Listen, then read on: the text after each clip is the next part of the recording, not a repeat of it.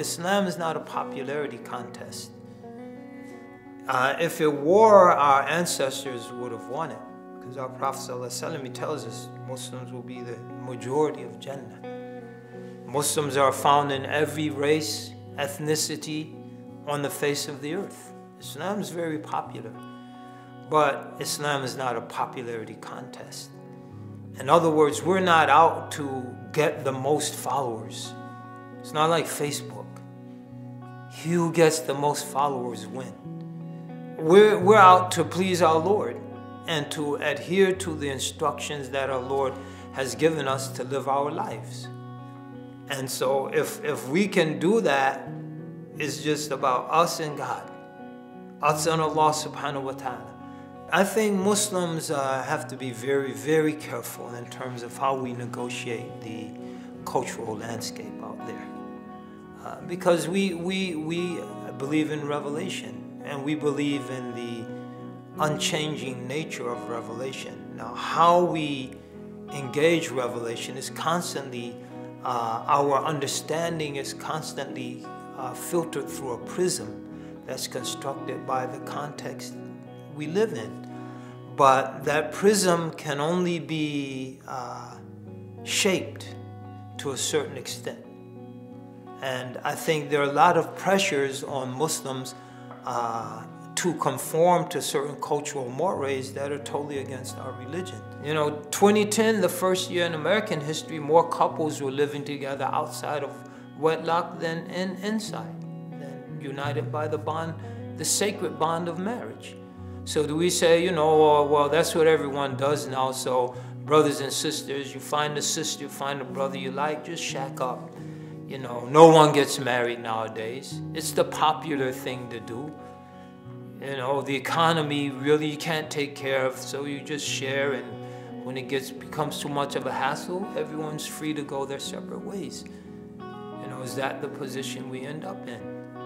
You know, we, we, we've always believed and been taught as Muslim we should dress modestly. And we shouldn't wear form-fitting clothes. And, and now you see Muslims squeezing into skinny jeans. Even people that identify with leadership of the community. And uh, because that's the hip thing to do. Showing your hips is hip. So Where's that coming from? Negotiation involves two sides, each of which is willing to make a compromise. So the Muslim is put in a position where only he or she will compromise. And the negotiating partner says, no, there's no compromise here. And so that means the steady erosion and chipping and chiseling away of Islam if we look at uh, some of these issues I've been talking about and we try to identify the source, I think at the end of the day, the source is a crisis of faith. Because uh, when people have faith, uh, they, can, they can walk through walls and they can be alone. And so if, if we can do that, it's just about us and God outside Allah subhanahu wa ta'ala. We're going to stand before Allah ta'ala alone. And so all of those crowds that we might have even compromised the, the very essence of our religion with, they're not going to be there. And we're not going to be judged based on how many people we kind of sort of got into something that kind of sort of resembles Islam. Our Prophet was blessed with a lot of followers, but there was a time he had very few followers.